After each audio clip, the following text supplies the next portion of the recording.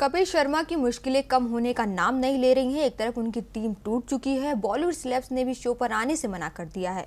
लेकिन अब कपिल की परेशानी और बढ़ सकती है, क्योंकि विमान में बदतमीजी के आरोप में एयर इंडिया कॉमेडी किंग को नोटिस जारी करने की तैयारी में है।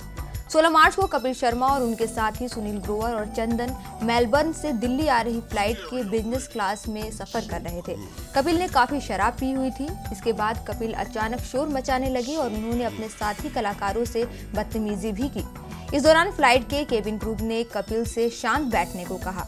खबरों के मुताबिक कपिल क्रूज से माफ़ी मांगकर शांत बैठ गए थे, लेकिन इसके बाद वह फिर से खड़े हुए और अपने ही साथी कलाकारों पर चिल्लाने लगे। इस बार खुद पायलट निकलकर आए, उन्होंने कपिल को चेतावनी दी, जिसके बाद जाकर वह शांत हुए।